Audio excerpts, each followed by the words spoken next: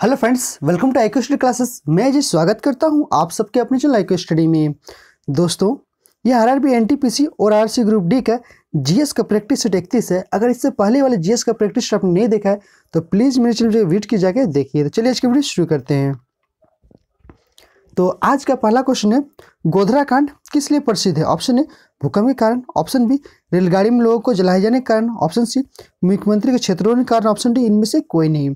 तो इसका सही जवाब है ऑप्शन बी, रेलगाड़ी में लोगों को जलाए जाने के कारण। गोधरा कांड किस लिए प्रसिद्ध है? तो रेलगाड़ी में लोगों को जलाए जाने के कारण प्रसिद्ध है। चलिए अगला क्वेश्चन देखते हैं। मंडल कमीशन किस प्रधानमंत्री कार्यकाल में लागू हुआ था? Option A, Shri Chandrashekhar, option B, H D Deve Gowda, option C V P Singh, option D, Atal Bihari Vajpayee. तो इसका सही जवाब है ऑप्शन सी बीपी सिंह। चलिए अगला क्वेश्चन देखते हैं। सार्स क्या है? ऑप्शन ए विषाणु द्वारा फैलने वाली बीमारी, ऑप्शन बी जीवाणु द्वारा फैलने वाली बीमारी, ऑप्शन सी चूहे के पीछे से फैलने वाली बीमारी, ऑप्शन डी मच्छर से फैलने वाली बीमारी। तो इसका सही के जवाब है ऑप्शन ए विषाणु द्वारा फैलने वाली बीमारी। सार्स सार्स विषाणु द्वारा फैलने वाली बीमारी है। तो जीवाणु से फैलने वाली बीमारी कौन कौन सी है? Bacteria, tetanus, TB plague pneumonia typhoid इत्यादि। वहीं विषाणु से फैलने वाली बीमारी है, एड्स, चेचक, खसरा, पोलियो, डेंगू, बर्ड फ्लू, पीलिया। और प्रोटोजोआ से फैलने वाली बीमारी है, कालाजार, मलेरिया, पारिया, सोने की बीमारी। अगला क्वेश्चन है, डिमांड ड्राफ्ट को क्रॉस क्यों किया जाता है? ऑप्शन है, भुगतान बैंक खाते के द्वारा ही किया जा सके। ऑप्शन बी, भुगतान तुरंत किया जा सके। ऑप्शन सी, भुगतान काउंटर से किया जा सकता है। ऑप्शन डी, उपयुक्त में से कोई नहीं। तो इसका सही जवाब है ऑप्शन ए, भुगतान बैंक खाते के द्वारा ही किया जा सके। अगला क्वेश्चन है, निम्नलिखित में से किस राज्य की सीमा समुद्र तल को नहीं छूती है? Option A, Gujarat. Option B, Tamil Nadu. Option C, Mumbai. Option D, Punjab. तो इसका सही जवाब है ऑप्शन डी, पंजाब। अगला क्वेश्चन है, नाजीवाद के संस्थापक कौन थे? Option A Hitler. Option B Mussolini. Option C Bismarck. Option D Garibaldi. तो इसका सही जवाब है ऑप्शन ए हिटलर। देखिए, हिटलर नाजीवाद का संस्थापक था। हिटलर जन्म अठारह में वान में हुआ था। इसने 1920 में नाजी दल की स्थापना किया था। इसकी आत्मकथा माई कैम्प है। लेलिन ने चेका का गठन किया था। मुसोलिनी का जन्म अठारह ईस्वी में रोमांगना में हुआ था। बिस्मार्क जर्मनी का रहने वाला था। इसने जर्मनी के एकीकरण किया था और गेरीबॉल्डी ने लाल कुर्ती के नाम से सेना का गठन किया था।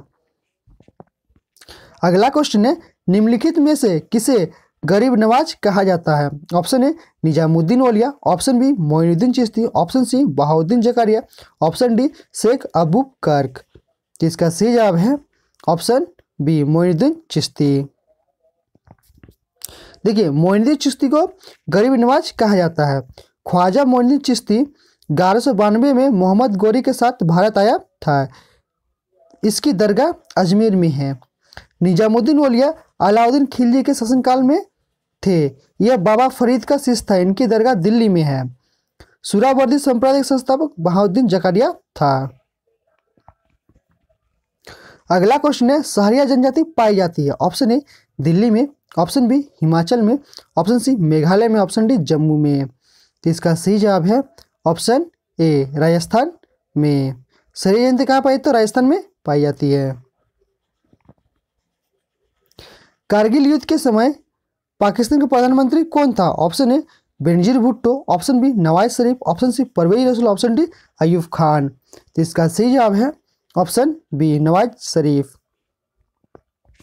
देखिए, कारगिल युद्ध के समय पाकिस्तान का प्रधानमंत्री नवाज़ शरीफ था। कारगिल युद्ध उन्नीस सौ निन्यानवे में हुआ था। कारगिल स्मृति दिवस 26 जुलाई को मनाया जाता है। परवेज मुशर्रफ पर तानाशाह तथा देशद्रोही का मुकदमा चला था। बेनजीर भुट्टो अयूब खान भी पाकिस्तान के प्रधानमंत्री रह चुके हैं। लाल त्रिकोण का संबंध है। ऑप्शन ए परिवार कल्याण से ऑप्शन बी रेड क्रॉस से ऑप्शन सी विश्व स्वास्थ्य संगठन से ऑप्शन डी यूनिसेफ से। तो इसका सही जवाब है ऑप्शन ए परिवार कल्याण से। लाल त्रिकोण का संबंध परिवार कल्याण से है। और यूनिसेफ का मुख्यालय न्यूयॉर्क में है और डब्ल्यू एच ओ का मुख्यालय जिनेवा में रेड क्रॉस का मुख्यालय जिनेवा में। रेड क्रॉस की स्थापना अठारह में हेनरी ड्यूट ने किया था। इसे तीन बार 1917, 1944 और उन्नीस में नोबल शांति पुरस्कार मिला था। रेड क्रॉस दिवस 8 मई को मनाया जाता है। कंटूर रेखा दर्शाती है। ऑप्शन ए, समुद्र तल से समान ऊंचाई एवं आकार वाले स्थानों को। ऑप्शन बी, बर्फ़ गिरने के समान क्षेत्रों को दर्शाने वाली रेखा। ऑप्शन सी, सूर्यताप के समान अवधि वाले स्थानों को मिलने वाली रेखा। ऑप्शन डी, चुंबकीय झुका की समान स्थिति को दर्शाने वाली रेखा। तो इसका सही जवाब है ऑप्शन ए समुद्र तल से समान ऊंचाई एवं आकार वाले स्थानों को। देखिए, समुद्र तल से समान ऊंचाई एवं आकार वाले स्थानों को कंटूर रेखा दर्शाती है। समान ऊंचाई वाले बिंदुओं को मिलाने वाली रेखा समोच्च रेखा कहलाती है और समान वर्षा को मिलाने वाली रेखा समवर्षक रेखा कहलाती है। वहीं समान धूप को मिलाने वाली रेखा को समधूप रेखाएँ कहती है और समान वायुदाब को मिलाने वाली रेखा को समदाब रेखा कहते हैं। हिमाचल की सबसे ऊँची पर्वत श्रेणियों को कहते हैं। Option A Shivalik option B, Himadri, option C, Himachal, option D, Ladakh. तो इसका सही जवाब है ऑप्शन बी, हिमाद्री।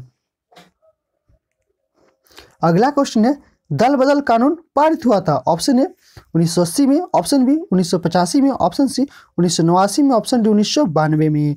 तो इसका सही जवाब है ऑप्शन बी, उन्नीस सौ पचासी में।